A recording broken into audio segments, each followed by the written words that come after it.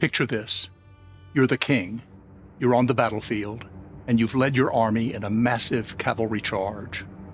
You think you'll be victorious, but an unwelcome surprise awaits you in the woods. Welcome to our exhibition Art and War in the Renaissance The Battle of Pavia Tapestries. I'm George Shackelford, Deputy Director of the Kimbell Art Museum.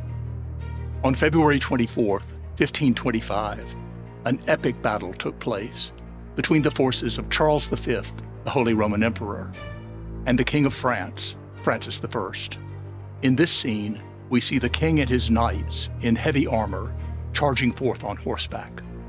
But at the top of the tapestry, we also see the imperial forces representing Charles V.